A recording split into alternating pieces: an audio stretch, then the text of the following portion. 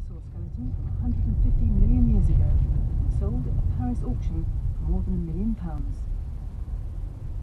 Researchers in the United States say the life of a 49-year-old woman with terminal breast cancer has been saved using a pioneering form of immunotherapy. The treatment involved extracting the patient's own immune cells and multiplying them in the lab. The team from the US National Cancer Institute says although the therapy is still experimental, it could transform the treatment of all cancer. British researchers have called the result remarkable. Here's our health and yeah, science correspondent James Gallagher. I'm just one, just Judy Perkins had been given just three months to live. Her breast cancer had spread throughout her body. There were lumps in her liver the size of 10.